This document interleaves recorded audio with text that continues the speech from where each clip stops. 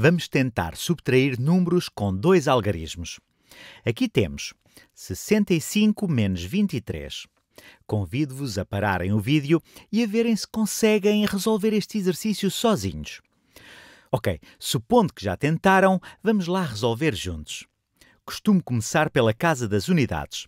Escrevi a amarelo os números que estão nessa casa. Esta é a casa das unidades e esta, a roxo, é das dezenas. Podemos fazer uma coluna aqui. Assim, tudo o que estiver amarelo na coluna das unidades, se quiserem chamar-lhe assim, representa um determinado número de unidades. E tudo o que estiver na segunda coluna está na casa das dezenas.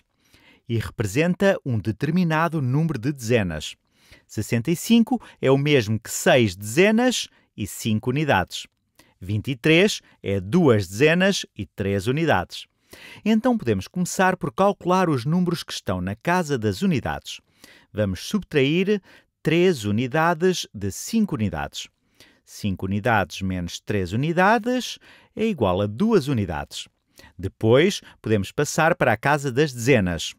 6 dezenas menos 2 dezenas é 4 dezenas. E já está. Isto é igual a 42. Podíamos escrever este número de diversas formas.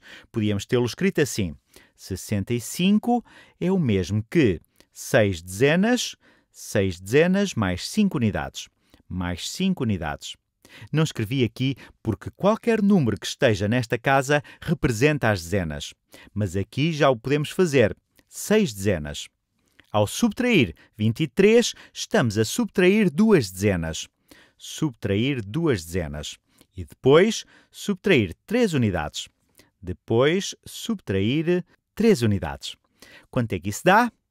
Bem, 5 unidades menos 3 unidades é o que temos aqui. É igual a 2 unidades.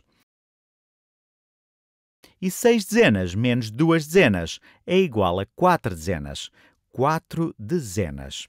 Então, 6 dezenas mais 5 unidades menos 2 dezenas menos 3 unidades é igual a 4 dezenas e 2 unidades, ou 42. 42 é igual a 4 dezenas mais 2 unidades. Espero que isto vos tenha ajudado.